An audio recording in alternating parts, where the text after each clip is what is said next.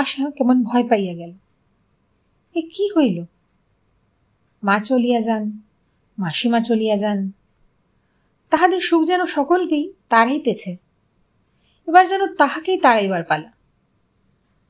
পরিত্যক্ত শূন্য গৃহস্থালির মাঝখানে দাম্পত্যের নূতন প্রেমলীলা তাহার কাছে কেমন অসঙ্গত ঠেকিতে লাগিল। সংসারে কঠিন কর্তব্য হইতে প্রেমকে ফুলের মতো ছিঁড়িয়া স্বতন্ত্র করিয়া লইলে তাহার কেবল আপনার রসে আপনাকে সজীব রাখিতে পারে না। তাহা ক্রমেই বিমর্ষ ও বিকৃত হইয়া আসে। আশাও মনে মনে দেখিতে লাগিল, তাহাদের অবিশ্রাম মিলনের মধ্যে একটা শ্রান্তি ও দুর্বলতা আছে। সে মিলন যেন থাকিয়া থাকিয়া কেবলই মুশরিয়া পড়ে। সংসারের দৃঢ় ও প্রশস্ত আশ্রয়ের অভাবে তাহাকে টানিয়া খাড়া রাখাই কঠিন হয়। কাজের মধ্যেই প্রেমের মূল না থাকিলে ভোগের বিকাশ পরিপূর্ণ এবং স্থায়ী হয় না। মহেন্দ্র আপনার বিমুখ সংসারের বিরুদ্ধে বিদ্রোহ করিয়া আপন প্রেমোৎসবের সকল বাতিগুলাই একসঙ্গে জ্বালাইয়া খুব সমারোহের সহিত শূন্যগৃহের অকল্যাণের মধ্যে মিলনের আনন্দ সমাধা করিতে চেষ্টা করিল। আশার মনে সে একটুখানি খোঁচা দিয়াই কহিল, চুনি, তোমার আজকাল কি হইয়াছে বলো দেখি? মাসি গেছেন, তা লইয়া অমন মন ভার করিয়া আছো কেন? আমাদের দুজনার ভালোবাসাতেই কি সকল ভালোবাসার অবসান নয়? আশা দুঃখিত হইয়া ভাবিত। তবে তো আমার ভালোবাসার একটা কি অসম্পূর্ণতা আছে? আমি তো মাসির কথা প্রায়ই ভাবি। শাশুড়ি চলিয়া গেছেন বলে তোমার ভয় হয়। তখন সে প্রাণপণে এই সকল প্রেমের অপরাধ খালন করিতে চেষ্টা করে।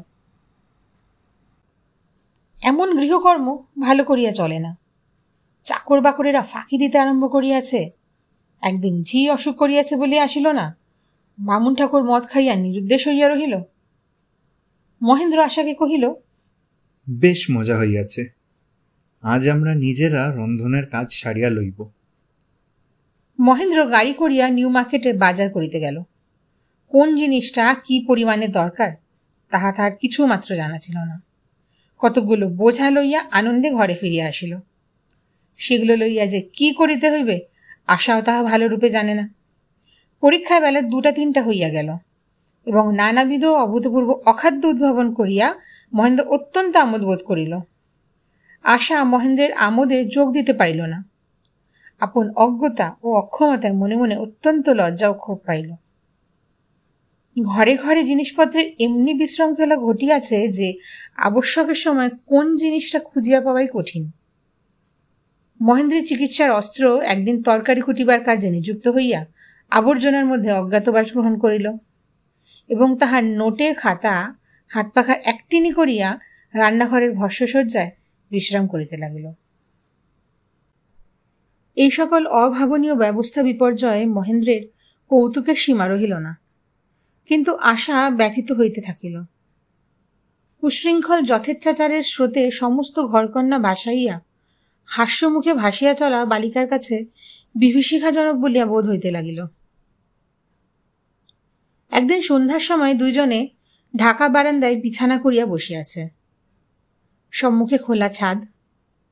বৃষ্টির পরে কলিকাতার দিগন্তব্যাপী সৌধশিখর শ্রেণি জ্যোৎস্নায় প্লাবিত।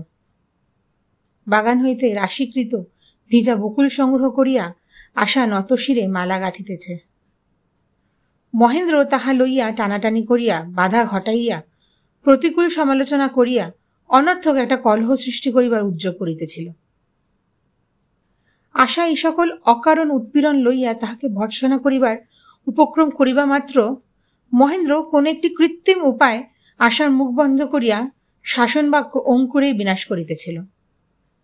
এমন সময় প্রতিবেশীর বাড়ির পিঞ্জরের মধ্য হইতে পোষা কোকিল কুহু কুহু করিয়া ডাকিতে লাগিল। তখনই মহেন্দ্র এবং আশা তাহাদের মাথার উপরে দোদুল্যমান খাঁচার দিকে দৃষ্টিপাত করিল। তাহাদের কোকিল প্রতিবেশী কোকিলের কুহুধ্বনি কখনো নীরবে সহ্য করে নাই। আজ সে জবাব দেয় না কেন? আশা উৎকণ্ঠিত হইয়া কহিল পাখিরাজ কি হইল? মহেন্দ্র কহিল তোমার কণ্ঠ শুনি আর লজ্জাবোধ করিতেছে।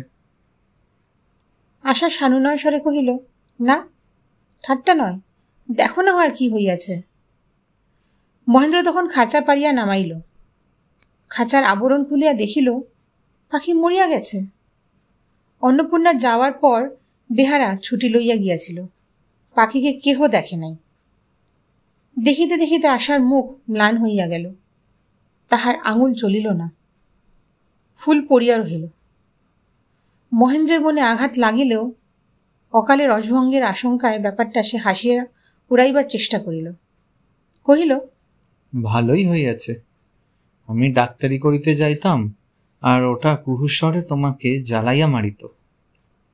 এই বলিয়া মহেন্দ্র আশাকে বাহুপাশে বেষ্টন করিয়া কাছে টানিয়া লইবার চেষ্টা করিল।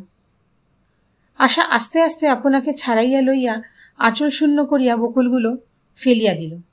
কহিল আর কেন? ছি ছি তুমি শীঘ্র যাও মাকে ফিরাইয়া আনোগে।